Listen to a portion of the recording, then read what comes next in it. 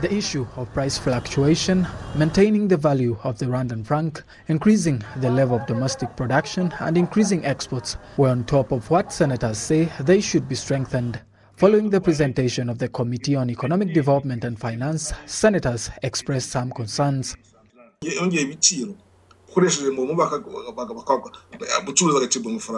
fact that traders are charged while withdrawing money from their mobile accounts is not appropriate because this is turning down the progress we had made during the COVID 19 pandemic. isomo twavaye muri kovide ikoranabuhanga igihombo batugaragarije mu bucuruzi bw'ubwishingizi We've seen the loss that has been incurred in the insurance sector. Our country has put more effort in reducing road accidents.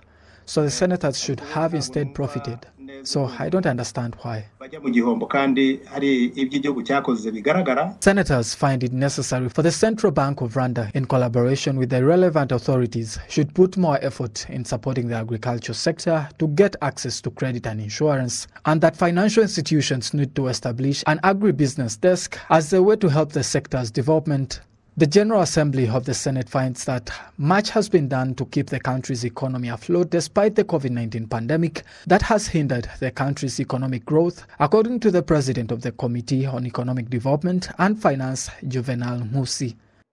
ibyo kwishimira kandi kuko uzayibona This is something we need to be proud of as a country because the use of cashless means increased from 4 to 11 percent. The pandemic came but taught us to take an appropriate measure to increase the economy of our country. The fact that government institutions, citizens, as well as other stakeholders embraced it is really amazing, and as it was a way to help people get out of problems caused by the pandemic.